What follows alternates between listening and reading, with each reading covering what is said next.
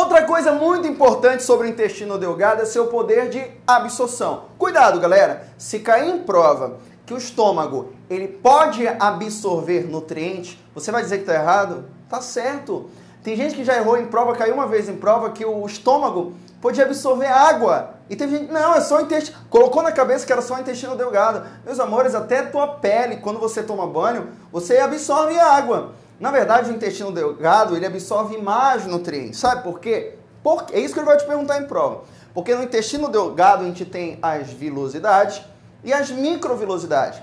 A vilosidade ela aumenta a área superfície epitelial. E as microvilosidades são evaginações que acontecem nessas células.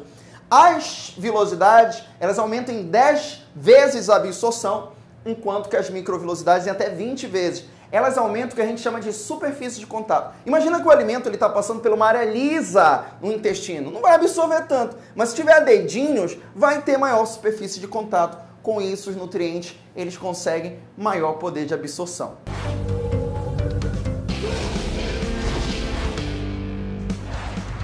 Deixa que a gente explica